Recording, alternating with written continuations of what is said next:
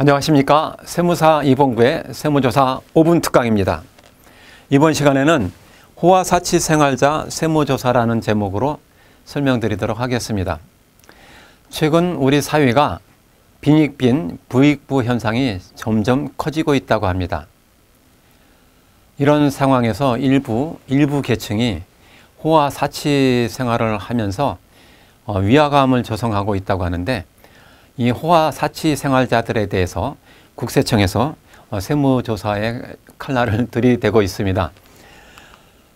어, 실제 호화 사치 생활자에 대한 호화 사치 생활하면서 어, 탈루를 한 이런 사람들에 대한 실제 세무조사 사례를 설명드리도록 하겠습니다. 아주 잘 나가는 주식회사의 대표인 김 대표가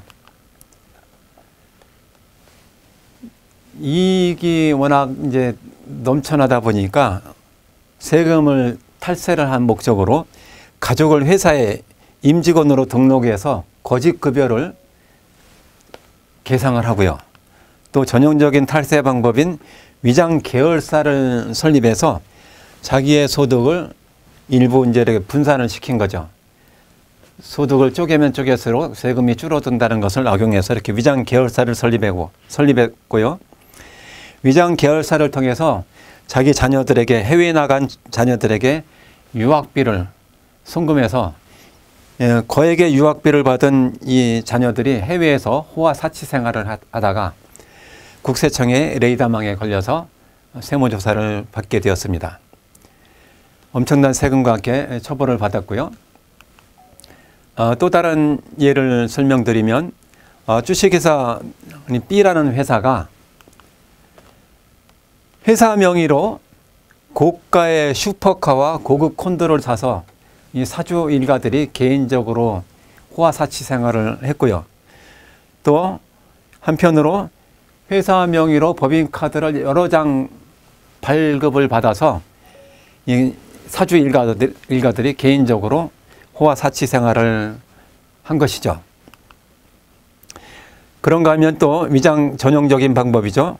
어, 위장 계열사를 설립해서 실제로는 외국에서 아니면 다른 회사에서 원재료를 구입하는데 위장 계열사를 통해서 구입하는 것처럼 이렇게 비자금을 만들었고요.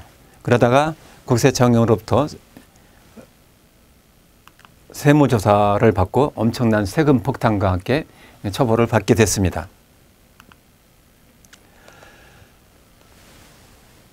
모 사업자 대표자인 K모 씨는 고급 슈퍼카를 운행하면서 강남의 고급 룸사롱을 자주 빈번하게 출입하다가 국세청에 세무조사를 받았습니다. 그런가 하면 골프광인 제이모 씨는 호화 빌라에 거주하면서 골프 회원권이 다섯 개, 고급 콘도가 두 개, 헬스 회원권 두개등 국내에서 호화 생활하면서 1년에 어, 20여 차례 부부 동반 해외 골프 여행 을 어, 다니다가 이 호화사치 탈세 혐의로 세무조사를 받았습니다.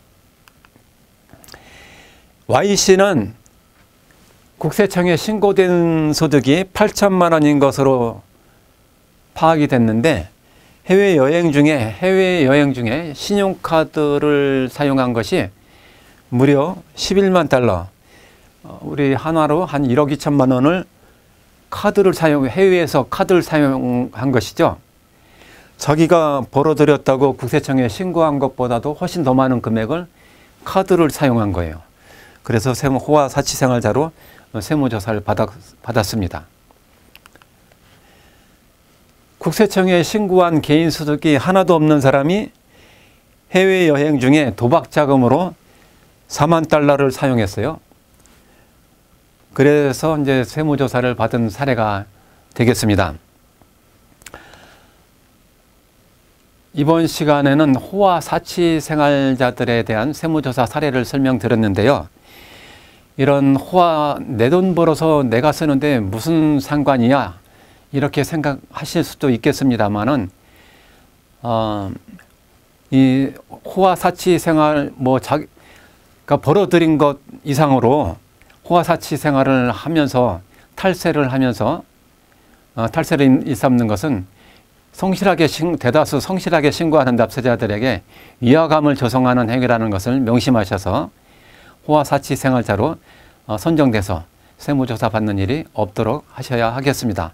지금까지 세무사 이봉구의 세무조사 5분 특강이었습니다.